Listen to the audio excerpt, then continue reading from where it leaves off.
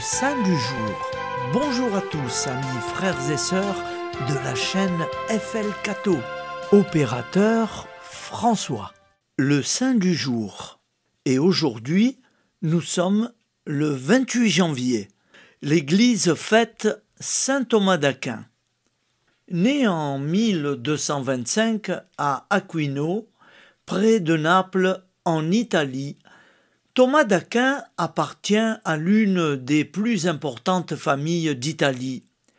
Il étudie d'abord la grammaire, les sciences naturelles, la science arabe et la philosophie grecque chez les dominicains de Naples. À 19 ans, il est reçu parmi les novices de l'ordre dominicain, déclenchant une vive opposition de sa famille qui le fait enlevé sur la route qui le conduit à Paris. Il prononce toutefois ses vœux en 1243 et étudie à Paris, puis à Cologne, où il a pour maître Albert le Grand et pour condisciple Ambroise de Sienne et Thomas de Cantimpré. Il est traciturne et ses compagnons le surnomment le grand bœuf muet de Sicile.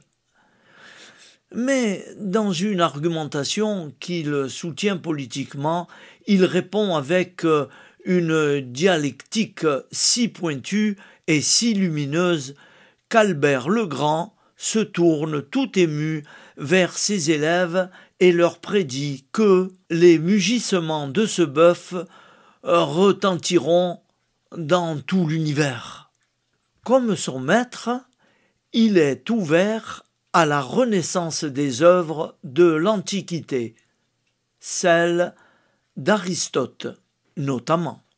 En 1248, il commence à enseigner à Cologne, puis revient à Paris, où il est reçu bachelier et occupe une chaire de théologie.